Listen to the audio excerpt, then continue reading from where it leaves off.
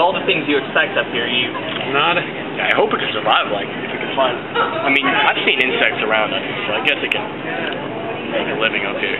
I'd be more worried about somebody killing it accidentally. Yeah. yeah. Like you. No, I trust you guys. Something else. Dean, I'm not paying that hundred dollars. Without killing it.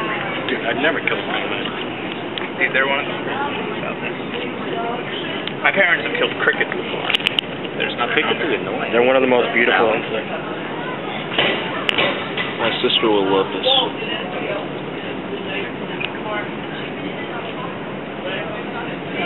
If there's any insect on this planet other than ants that would make it, it would probably be this or the termite.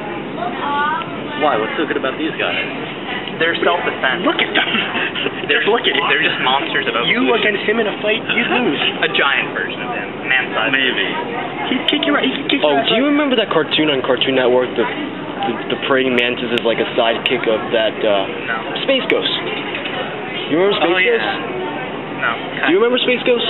Never watched it. Never It's a uh, adult. It's like an Adult Swim. Uh, Never saw it.